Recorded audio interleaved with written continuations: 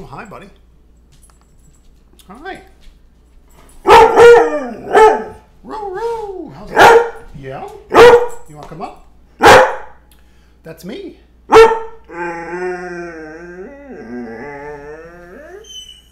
That's me. It's okay. Oh, happy Sunday, everybody. No, you can't eat that.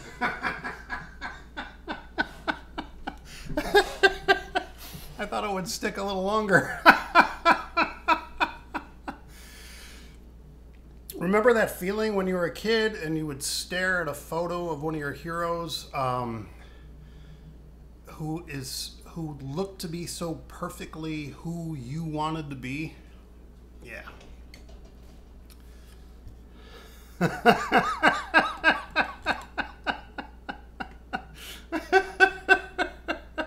Let's get a little bit of the glare out of there. Yeah, this was one of mine.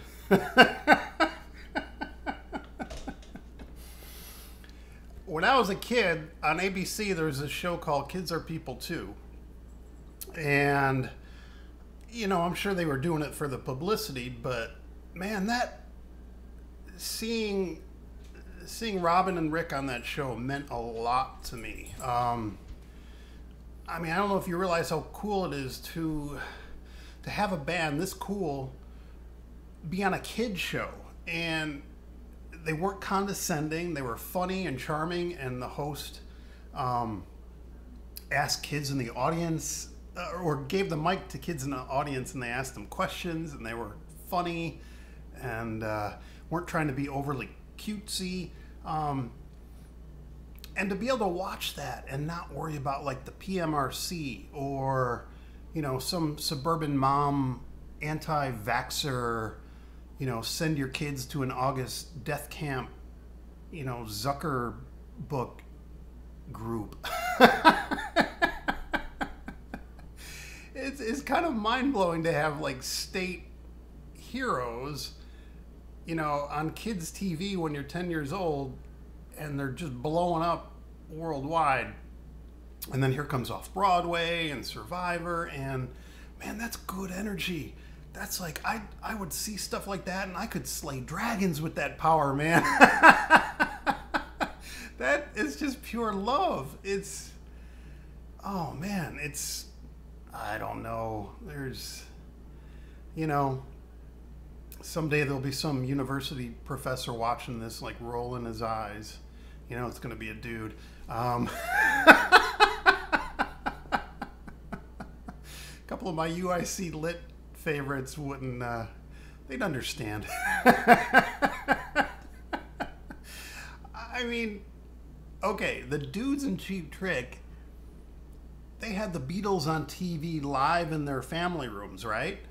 I wasn't even born yet, so this is my fucking Beatles. Um, okay, boomer. blah blah blah. Yeah, well, I had corporate box seats to the Stones at Soldier Field in 2018, and I make six figures a year. And yeah, go home, Dad. You're. Oh wait, you are home.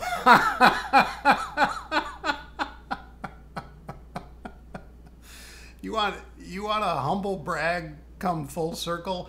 We were at Space a couple years ago doing a sound check, and I think I was I think I was playing the lap steel for a minute, and this guy walks up. You know, it's just a couple people in the club staff milling about the room at that point. and he goes, "Oh, you know, I've I've made a that's a nice lap steel. I've made a couple of those." I was like, "Oh, you know, I I reached my hand out to shake his hand. I said, I'm Mark. Nice to meet you. He goes, I'm Paul Hamer. Uh, Can we talk for an hour? he disappeared. We played our show. the the 2020 that was in my head around January uh, would have you know, would have been me and, you know, Gerald and Dave doing this song right about now in the Fitzgerald sidebar with Steve Frisbie up there doing like a stunt vocal, right? I mean, uh, Well, as it stands, I'm going to do this song today, and you're just going to have to pretend I'm your Robin Tom brown eyed handsome man. I got an idea though.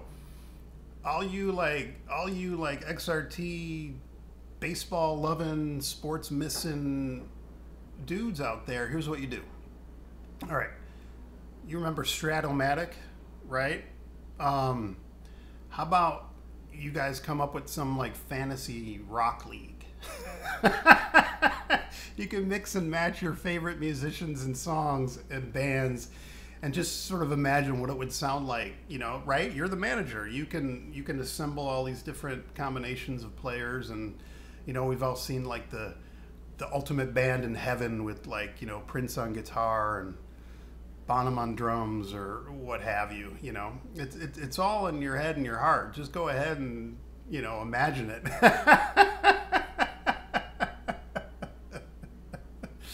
Uh, I have I have long said that Robin Zander is not of this planet. I'm I'm not sure Steve Frisbie is either. I'm still checking on that one. but he's not here, so you're stuck with me. I'm gonna I'm gonna do this track that they did on that that show, and thanks to the well, you can you can find it on YouTube now, which is which is awesome. Um, I mean, to be a kid and and these album covers, you know, that went from, you know, the the hunks on one side to the to these guys in the back. I mean, I wanted to be all four of them, you know, in some combination way, shape, or form. It was just like, it was everything I loved about rock and roll. You know, it was just attitude and funny, and you know, guitars, guitars, guitars, and hooks and melodies. Um, yeah, I'm gushing again.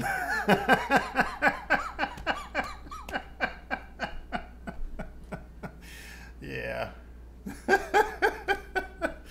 All right, I'm gonna, I'm gonna go, I'm gonna go recreate the voices in my head here, and I hope everybody is doing well. You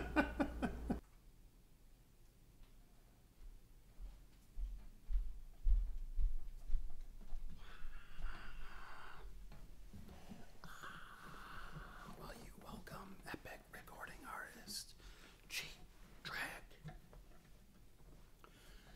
You didn't know what you were till you heard